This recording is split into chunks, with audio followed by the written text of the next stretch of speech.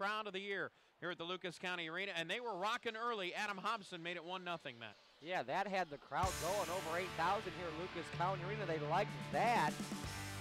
But uh, I didn't think it could possibly get worse tonight than it was last night. But as soon as you're done looking at these highlights, Matt, you're going to know that it was worse because the final score was 8 to 2 instead of 7 to 2.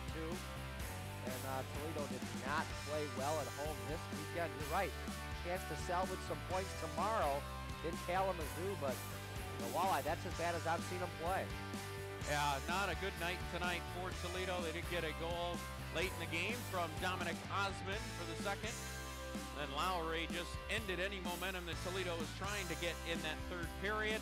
Ended to a couple of fisticuffs in that third period, but ultimately it was the Elmira Jackals pulling away from Toledo tonight as they defeat the Walleye by a count of 8 to 2.